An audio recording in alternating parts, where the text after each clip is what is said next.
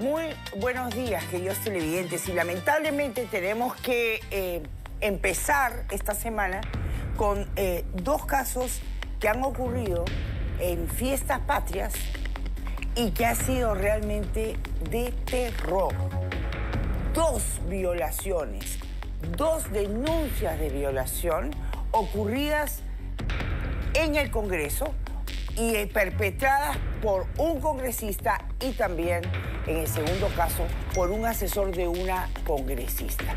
Terrible. Terrible. Bueno, y lo peor, Charo, que a mí me, me sorprende es que el congresista Freddy Díaz regresa a sus funciones sigue trabajando como parlamentario, no hay ninguna orden de detención hasta el momento, obviamente hay una inmunidad parlamentaria que lo ampara. ya, no hay, ya, no hay, inmunidad parlamentaria. Ya no hay, entonces ¿por qué? Entonces, ¿por qué, Charo, explícame desde el punto de vista legal, por qué no se le ha detenido?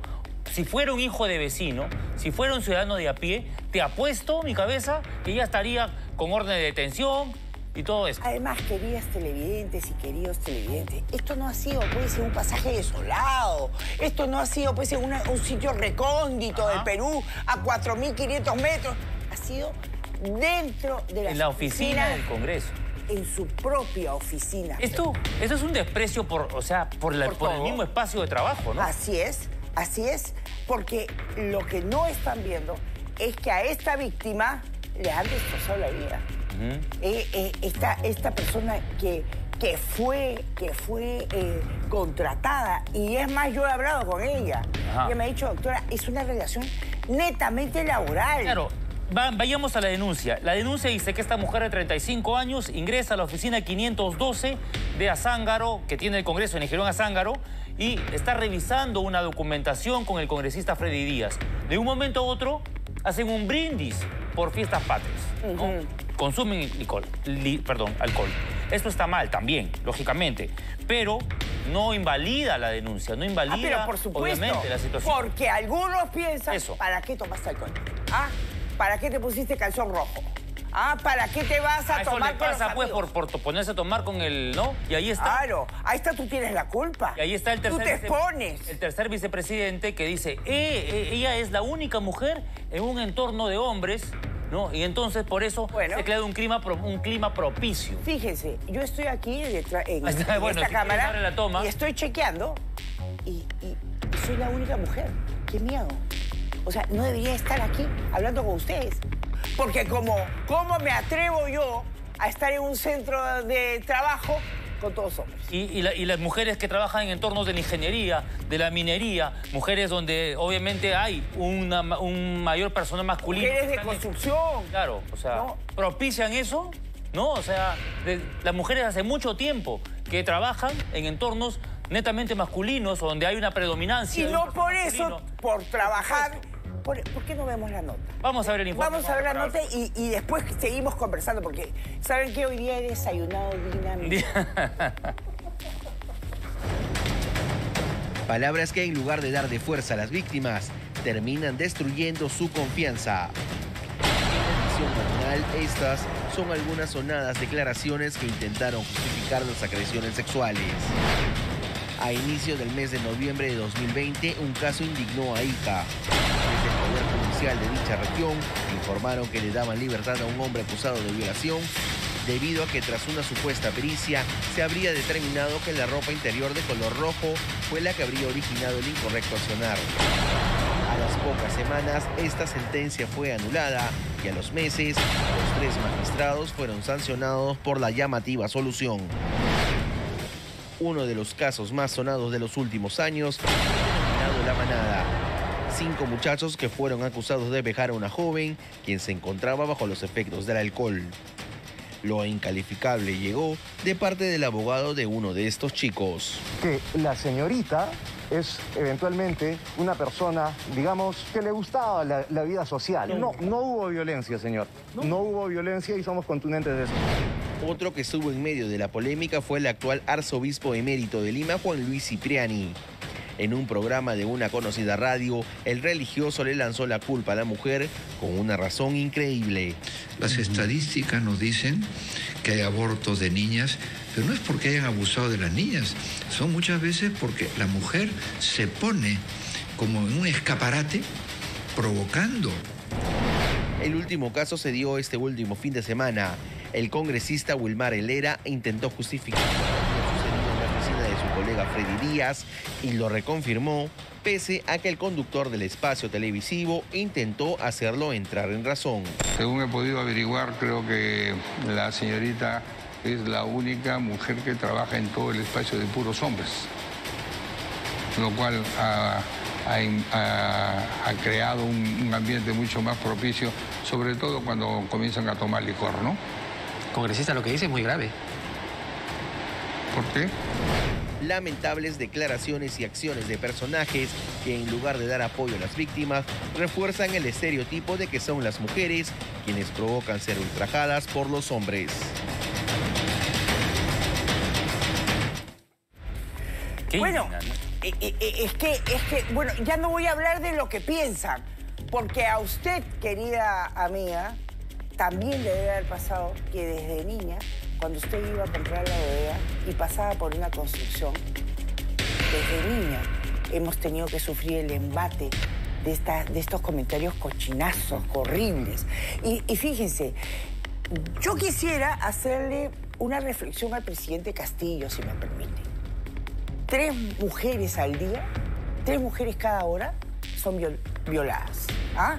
Estamos hablando de 73 mujeres cada día, Fernando. Estamos hablando de 26.342 mujeres violadas. Violadas. Violadas, no violentadas, violadas. Abuso sexual. Abuso sexual. Entonces, cada cinco años, señor presidente de la República, 131.170 mujeres son violadas. Entonces, esto, es- estas mujeres violadas se meten en, en estas mujeres violentadas, que son 698.000. O sea, casi, casi pues... eh, Más de, de un. más de medio millón, millón. más de medio millón. Y en los próximos 10 años, 1.397.000 mujeres van a ser violentadas. Entonces, si hay este- esta cantidad de gente, de mujeres que son violadas y violentadas, esto que está pasando en el Perú es peor que la guerra de Ucrania. Charo, hay la ley de, de no al acoso callejero, ¿verdad? O sea, ya incluso las constructoras colocaron sus carteles donde Así dice, es. en esta construcción no se silba, no se produce el acoso callejero. Sin embargo, los entornos laborales, estamos viendo en el Congreso, en las empresas, hay también es cuna para que pues, se propicien estos acosos. ¿Cómo, son, cómo, ¿Cómo comienza el acoso sexual laboral? ¿Cuáles son los primeros pasos que el agresor comienza a dar hacia su víctima potencial? ¿Y cómo le identifica? ¿A quién le pone la puntería, como se dice? Así es. En primer lugar, todo es progresivo. Es como cuando te, cuando te gritan, te insultan, te pegan, te patean, te matan. ¿No? Es poco a poco. Igual el hostigamiento laboral.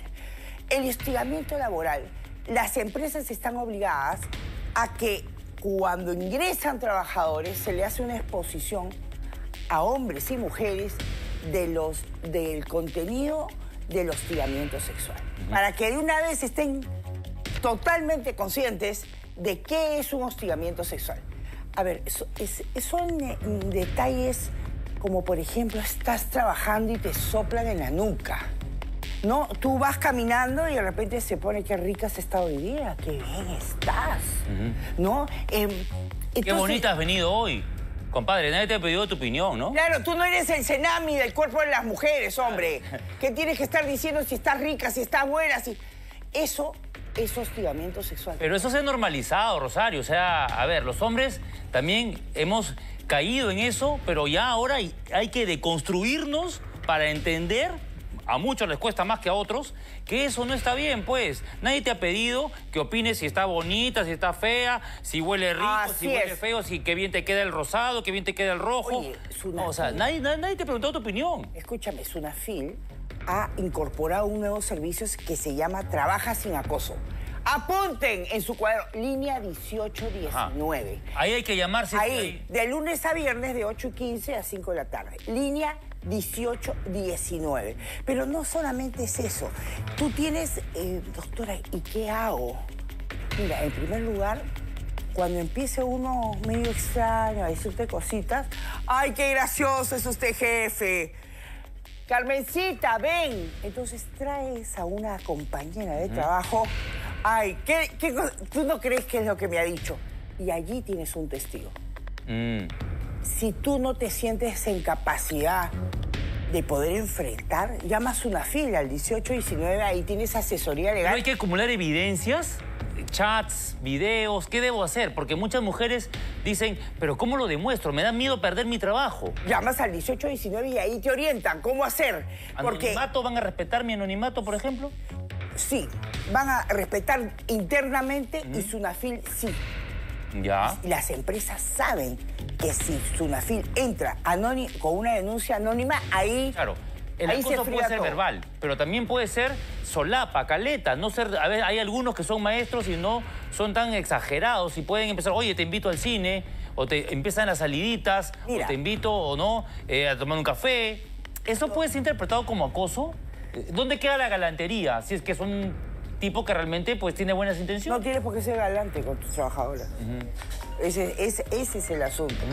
Ya me están llamando, imagínate cómo es que ya me están llamando. Pero bueno, Entonces, ¿qué- fíjese, qué- ¿cómo reacciona, cómo debe reaccionar una mujer cuando empieza a recibir propuestas insistentes? Una cosa es invitar a tomar un Denunciar en la propia empresa. Denunciar en la propia empresa y la empresa tiene la obligación. Uno, en, en los próximos 24 horas te, va, te manda un- a un centro de, eh, de orientación eh, eh, psicológica para recibir apoyo. Dos, si tú quieres puedes pedir la rotación y tienes el derecho a Ah, pedir que te la rotación. puesto de- O que recursos humanos saquen al agresor y lo pongan en otro lado. Hay, ¿Qué hay rotación. La estadística, las ¿Ah? pero ¿qué dice la estadística? ¿Las empresas realmente reaccionan, realmente operan, actúan, accionan, sacan al agresor o se hacen de vista gorda? pero para eso está el ciudadano, para conocerlo, para conocer.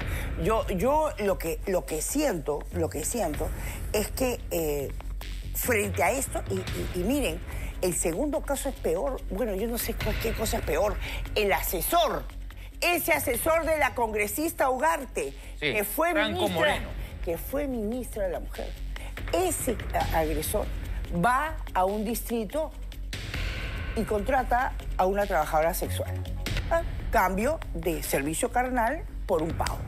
Llegan al hostal y él le dice, bueno, ahora vamos a hacerlo, pero sin preservativo. La trabajadora sexual, conociendo sus derechos, ¿qué dice? No, yo no lo voy a hacer. Claro, ¿quién no va a estar temeroso de una enfermedad de transmisión sexual? Él le dice que te lo, lo haces conmigo, que no lo hago. Saca un plomo, Sí. pone una arma de fuego y sencillamente la viola. ¿De qué estás hablando? Estás hablando de secuestro. Mínimo 30 años de cárcel. Está libre. Claro. Está libre la persona. Entonces tú no puedes entender cómo este tipo de casos tengan libertad. Yo le pido a la, a la fiscal suprema en el caso del congresista, porque no es la mesa directiva, la mesa, la mesa directiva tiene que desaforar, pero la fiscal solamente ha pedido impedimento de salida a este congresista. A Freddy Díaz. Sí, no le ha dado, por ejemplo, detención preliminar. ¿Cuáles son las razones? Las desconocemos. Pero que nunca dejes de denunciar. Si tienes miedo, anda con una amiga. Ya las estaciones policiales conocen perfectamente. Ve con el comisario directamente. Llama a la línea 100. Llama a la, a la 1819, creo que es lo de... Sí, 1819 a Sunafil. Basta de abusos, basta de ultrajes. Respe- respeten nuestra vida, basta de robarnos la vida.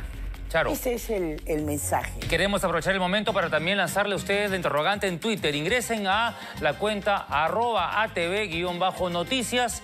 Ahí está nuestra pregunta el día de hoy. ¿Ha sufrido usted acoso sexual en el trabajo? ¿Cuál fue su reacción? Denuncié y lo votaron. Denuncié y no pasó nada. Callé por mi trabajo, callé por vergüenza o simplemente no he sufrido acoso. Sí, eh, yo eh, el el jueves vamos a regresar. Eh, hemos vuelto a la, a la consulta virtual.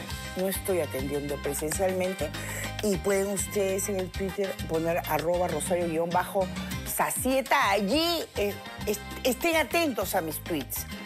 Consultas virtuales al 987-372-423. Ahí está, 987-372-423. Tómale una foto y llamas y ahí concertamos la cita. Los quiero con todo mi corazón.